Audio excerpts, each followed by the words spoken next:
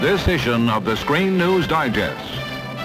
A timely motion picture record of the people, places, and events of our times is presented to you as a public service by the First National Bank of Minneapolis.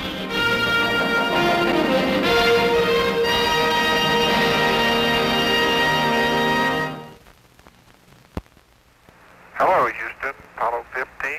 The Falcon is on its. Good to hear you coming around that corner. How do things look? What a fantastic sight. Beautiful news. Romantic, isn't it? Oh, this is really profound. I'll tell you. It's fantastic.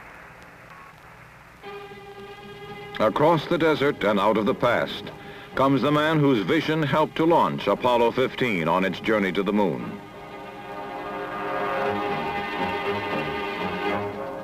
Dr. Robert Hutchings Goddard, father of the space age, is preparing an historic rocket flight on the New Mexico desert in 1930. These remarkable films are Dr. Goddard's own home movies, the living record of a pioneering genius.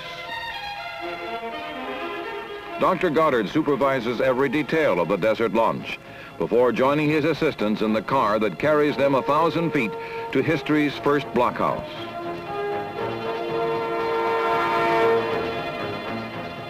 The men scatter and take up their pre-launch positions, following a countdown procedure that will be copied down through the years.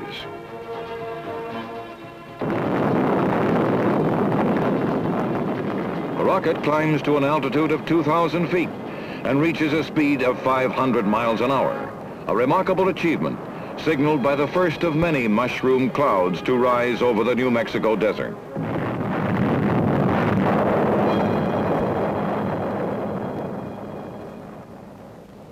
Charles Lindbergh, a staunch supporter of Dr. Goddard and his work, is a frequent visitor to the Pioneer Missile Range. An average of a rocket a month rolls off the assembly line as Dr. Goddard pursues his dream of space exploration. The idea of shooting for the moon, he says, is based on sound physical principles. It can be done.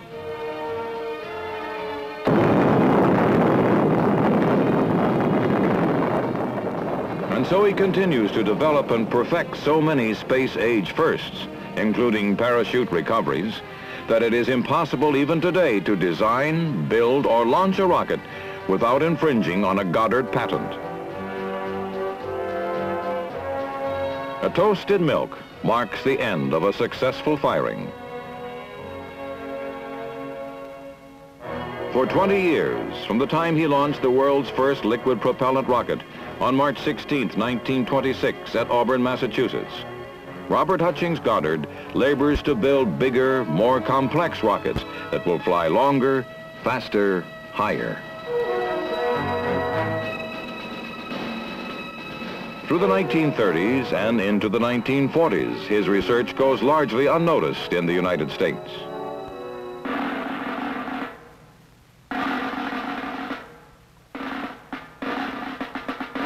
Across the Atlantic, scientists in Nazi Germany realize the implications of Dr. Goddard's work with liquid-fueled rockets, learning like he does by trial and error, spectacular error. Dr. Goddard declines all requests from foreign scientists for information on his rocket research, but his basic patents are available to one and all for just 10 cents. And in 1944, when the V-2s are ready for launching against Great Britain, they are constructed from nose to tail in exactly the same manner as Dr. Goddard's New Mexico rockets.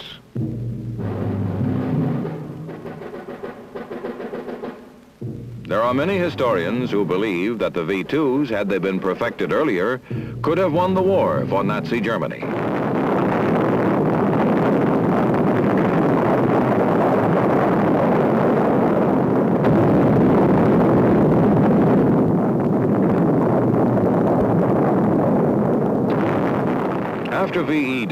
Army ordnance men will question German scientists about their awesome rockets, and they will receive a surprising reply.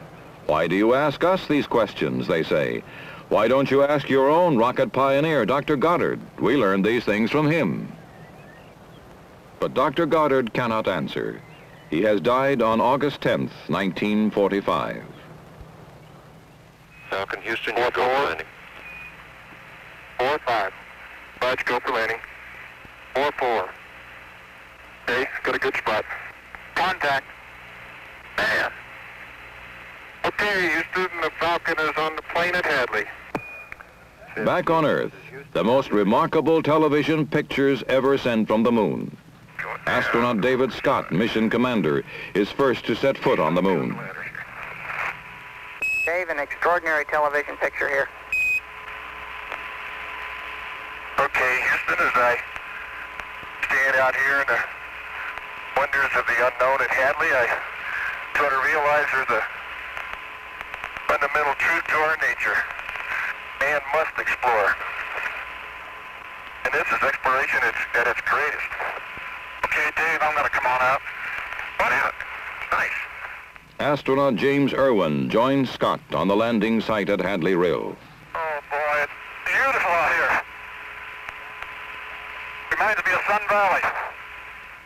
The Moon Explorer's first task is to unload and start up their four-wheeled battery-powered lunar rover, built at an estimated cost of $5 million.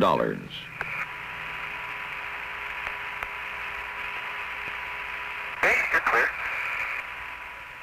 The white 10-foot-long vehicle, just visible at the lower right of the screen, circles the Falcon, while Scott describes the terrain around the landing site. Pad. And the uh, left front's a little low, too. But the LM looks like it's in good shape. The rover is in good shape. Uh, Dave, uh, we read all of that. Uh, we are getting a beautiful picture now.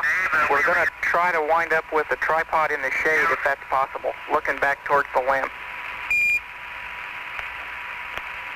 Yeah, that's, that's possible.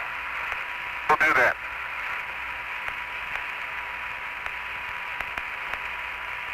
Outstanding. Good. This is really a rock and roll ride, isn't it? Never been on a ride like this before. Oh boy. I'm glad they got this great suspension system on this thing. Beautiful, Dave. And uh, we stopped, and let's take a gander around and see which way we ought to head. You know, uh, Dave, if we can make it out that far directly ahead of us, look at the large blocks. Now the antenna's in my way. Okay, that's that's as good a way as any. We'll head uh, 140 from here. Okay, Dave, and superb television picture down here. Gathering core samples, the astronauts drill deeply into the moon's primeval crust during their excursions among the lunar rocks, craters, and rolling hills. NASA officials say this is the greatest scientific exploration we've ever seen in the space program.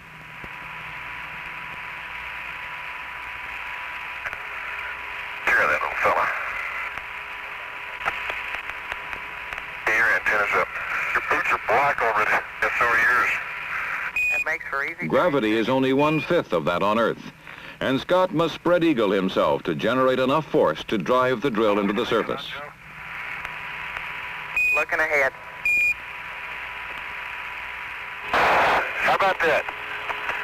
Thank you, Dave. We copy all that. One of the interesting things, Jim, is the uh, momentum you generate.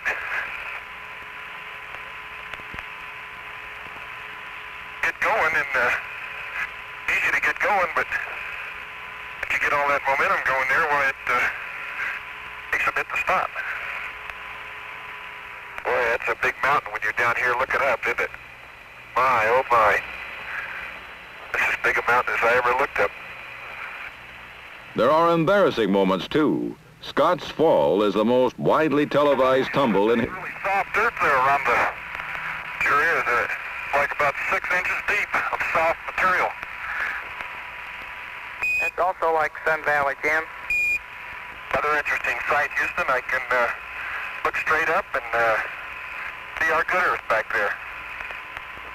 Oh, look at the mountains today, Jim, when they're all sunlit. Isn't that beautiful? really is. By golly, that's just super. It's, you know, unreal. 15, this is Houston. In a lighter vein, astronaut Scott carries out a unique scientific experiment, illustrating that a feather and a hammer, dropped at the same time, will hit the moon's surface together. In my left hand, I have a, a feather. In my right hand, a hammer. And I guess one of the reasons uh, we got here today was because of a gentleman named Galileo a long time ago who made a rather significant discovery about falling objects in gravity fields. And we thought that uh, where would be a better place to confirm his uh, findings than on the moon. And uh, so we thought we'd try it here for you. Uh, the feather happens to be appropriately a falcon feather, or falcon. And I'll uh, drop the two of them here, and hopefully they'll hit the ground at the same time. How about that? How about that Mr. Galileo was correct in his findings. The Apollo 15 astronauts spend some 67 hours on the surface of the moon, carrying out man's most extensive and fruitful explorations of the Earth's mysterious and desolate satellite planet. During three excursions in their lunar rover, Scott and Irwin remain outside the Falcon for 18 and a half hours, traveling more than 17 and a half miles. The moon mission, carried out at a cost of some $450 million, is ending with only two more lunar flights scheduled in the Apollo project. Stand by, Dave. Let. Okay. Give me a word. Anytime. Cam, closing the hatch. Okay, loud and clear, Dave, and your go for liftoff. Good lift off. Automatic.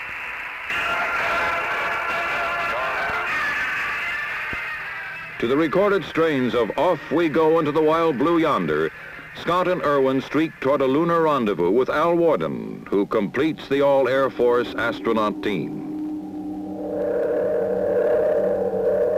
Man has crossed yet another frontier in the exploration of our universe, but new horizons still wait to be crossed and conquered. For in the words of Robert Hutchings Goddard, there can be no thought of finishing. No matter how much progress one makes, there is always the thrill of just beginning.